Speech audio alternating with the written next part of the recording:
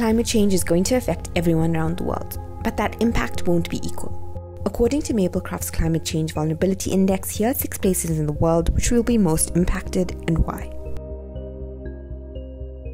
Lagos is one of the fastest growing cities in the world.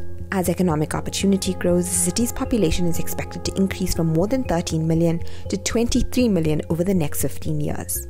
Lagos is already a major transportation and economic hub, and as more people populate the city, infrastructure and resources will be placed under strain, and the city is particularly vulnerable to nature.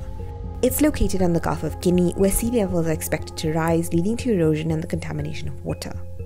Scientists also say that the city will experience more hot days and droughts. These climate changes could threaten the massive population and economic livelihood of millions of people.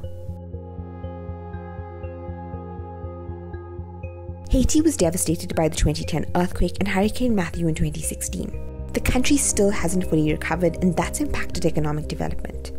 Future disasters would compound an already dire situation, and the island is at risk. It sits in the Atlantic Hurricane Basin. Scientists say that due to climate change, hurricanes are getting more intense and much wetter. Haiti is also susceptible to landslides and rising sea levels.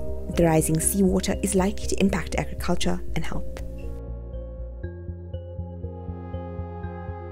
In total, 1.6 million children are already suffering from malnutrition in Yemen.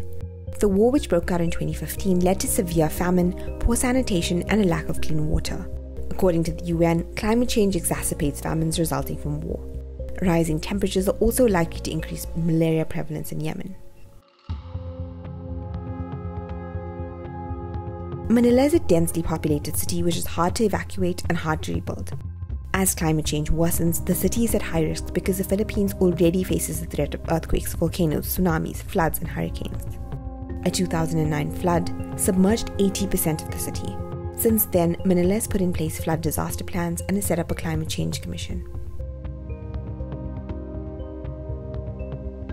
Kiribati is an island nation in the Pacific. The island is located only 6 feet above sea level, and rising sea levels means that the island could be wiped off the map as climate change worsens. It's slowly impacting agriculture and contaminating fresh water. The country has taken steps to slow down the impacts, such as planting mangroves and building seawalls. They've even purchased 5,000 acres of land in Fiji in case its people need to relocate.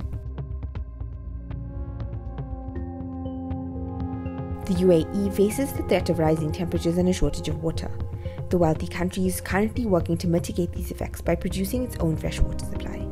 It's also in building temperature controlled spaces and investing in green energy and agriculture which can withstand higher temperatures.